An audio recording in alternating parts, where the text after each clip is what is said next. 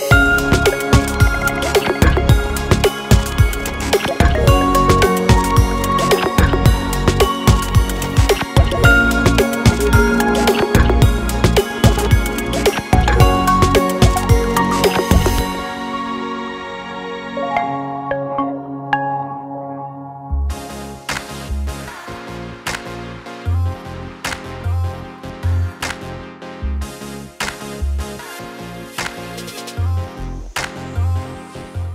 Então, neste preciso momento, estamos a desenhar as peças para, para o nosso braço hidráulico. De seguida, vamos cortar as mesmas, enquanto cortamos também a madeira.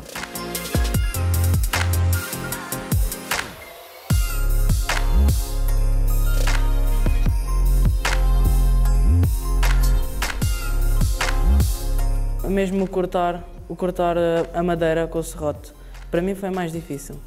Eu considero mais importante aqui é realizarmos as experiências e aprendermos a trabalhar em grupo, porque é uma dificuldade de todos, afinal é sempre melhor, sempre melhor não, é sempre mais fácil trabalhar sozinho, mas acho que trabalhar em grupo é uma, uma aprendizagem que todos temos de ter.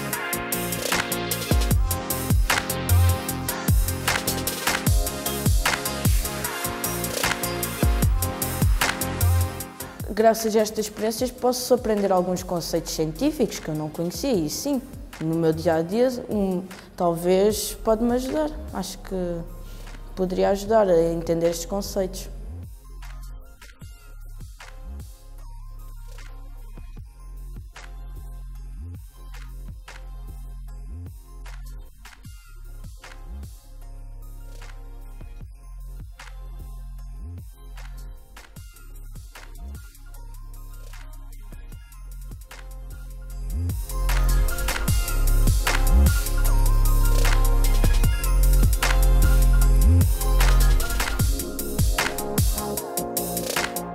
Com as peças que previamente cortámos, colamos, cortando também os eixos.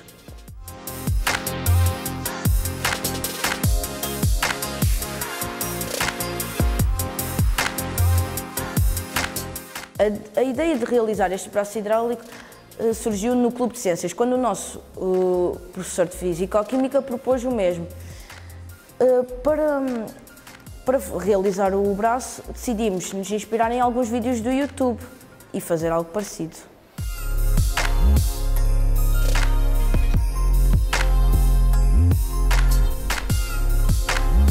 Em seguida, começámos a trabalhar com, as seringas, com seringas, fazendo, eh, transferindo água de uma seringa para outra através de um tubo.